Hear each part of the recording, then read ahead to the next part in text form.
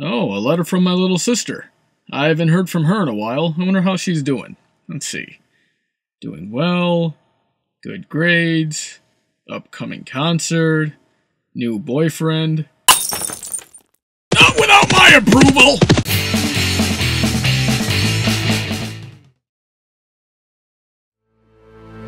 She looks guilty. What did you do this time, Apple Bloom? Home alone and take care of the chores yourself for the afternoon. That's all? Jeez, don't scare me like that. On my own. Uh, careful with the merchandise. You know, it's things like that that are probably the reason they had to have a conference on whether or not you can handle this in the first place. There's some soup for you in the refrigerator, and take little sips. If you gulp, you could get hiccups. That seems unnecessary. But believe I'm grown up enough to handle this, right? I wonder how many times I've had this exact same conversation with my parents. Okay, great. See you soon. Bye. Now I'm suspicious.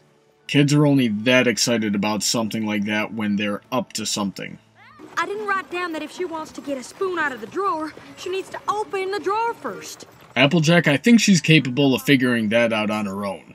You go on ahead and make your delivery. This won't end well. Stop her, please! Make sure the hats and bows closet is fully stocked. But what about the traveling bonnets? Family's way more important than pies. Didn't we establish a few weeks ago that your family is a pie? Now, I've heard of dropping the spaghetti before, but this is ridiculous. Huh? Uh, when did you even have time to do that? I'm actually not mad at that. That wheelbarrow is probably a lot easier to handle now. You've gone and baby-proofed everything. Oh, that is the line. You know, Applejack, getting hurt a few times is the only way that kids can get tougher. Doubled! And that's the reason I asked y'all to come over quick. Seriously? A crib? Applejack, I know it must have been a shock to come home and see the house in disarray.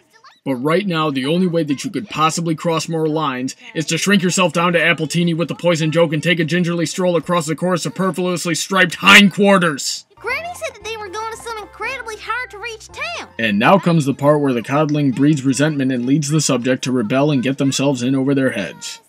I'll be cursed if I haven't seen it a dozen times before. See? It'll look just like you're sleeping in bed. Oh, I'm sure Applejack will love it if she comes into the room and finds that Apple Bloom is suddenly orange with purple hair. I don't need her watching over me. Stop! Thank you, Scootaloo. I could tell that that song was going to be grating from the first note. Did I hear a cough? Want a glass of water? Okay, this has gotten beyond ridiculous now. Wow! Apple Bloom will be so glad to hear that! We were so close!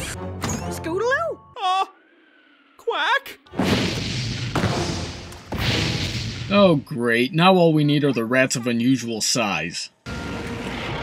You know, I should really get better at keeping my mouth shut.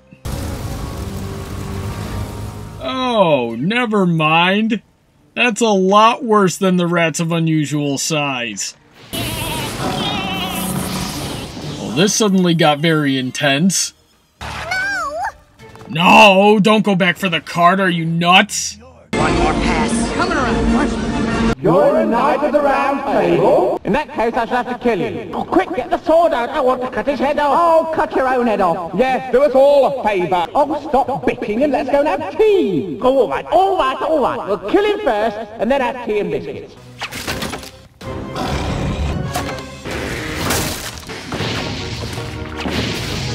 And that, ladies and gentlemen, is a fair portion of the reason why I'd go for a girl like Applejack. Why is that guy dancing like Charlie Brown on a table? And if you hadn't snuck out like you did, maybe I wouldn't have figured that out. You know, she's really lucky. I had to go through this several times before my family started trusting me.